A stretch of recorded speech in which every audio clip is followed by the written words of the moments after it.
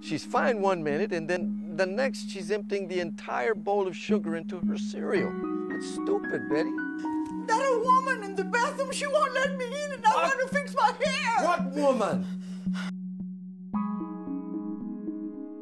Doctor, do you notice her being a bit odd? She seems the same to me.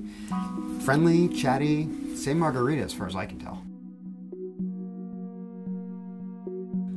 Crazy clothes you've been wearing. This mess you made. What's going on with you? Margarita is not crazy. What she has is a disease of the brain. This is a disease that progresses and unfortunately makes people lose the ability to take care of themselves.